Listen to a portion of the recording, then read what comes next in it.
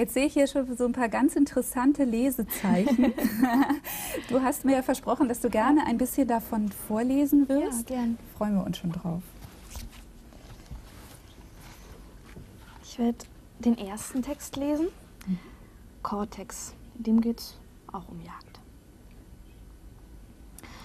Es war nicht dieser Fuchs auf Nahrungssuche, den wir verfolgten, vor einer Medizinerfakultät, entlang der Streifenspur auf dem Asphalt. Vor einer Kneipe blieb er stehen, als wäre er ein Hund und wollte sein Revier markieren. Die Beine zitterten im Vierertakt und drinnen klapperte ein Flipper.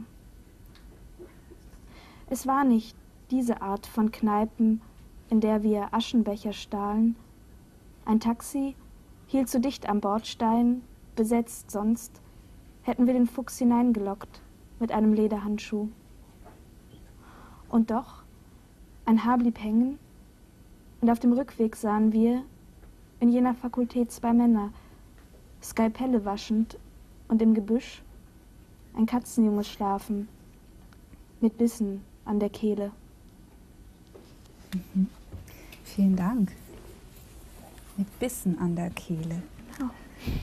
Ja, deine ganzen Werke, es zieht sich eigentlich durch dein ganzes Werk, was du bis jetzt hast und was du noch haben wirst, dass es so ein bisschen schaurig immer ist, so ein bisschen in der Schwebe alles und äh, ja, deine Vorbilder, hast du mir erzählt, sind, äh, geht so ein bisschen in Edgar Allan Poe, damit fing es an, ne?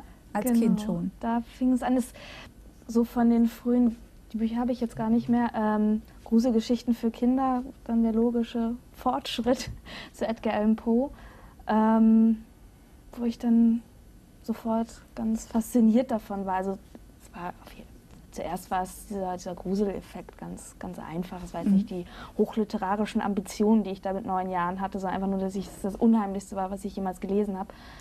Ähm, und die Sachen haben mich schon nächtelang wachgehalten.